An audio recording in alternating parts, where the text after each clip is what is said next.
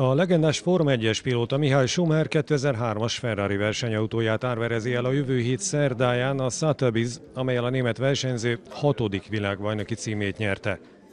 Ez az aukciós ház Genfi luxus hetének egyik fénypontja olyan kivételes ékszerekkel együtt, mint egy ritka kék gyémánt, amelynek becsült értéke 10-15 milliós svájci frank, valamint egy karkötő, amely egykor Eugene francia császárnői volt.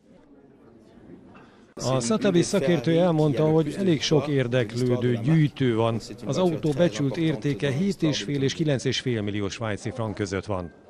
Az autósport legendája kilencszer versenyzett ezzel az autóval, és öt futamot nyert a 2003-as szezonban, és akkor is ezt a kocsit vezette, amikor Japánban megszerezte a világbajnoki címet. Mihály Schumacher nem mutatkozott a nyilvánosság előtt, mióta 2013-ban súlyos, maradandó sérüléseket szenvedett egy síbalesetben. なるほど。